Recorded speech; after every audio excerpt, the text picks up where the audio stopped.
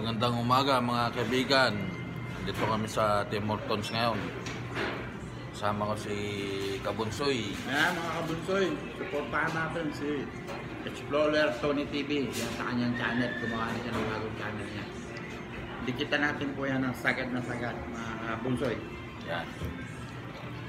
Ah,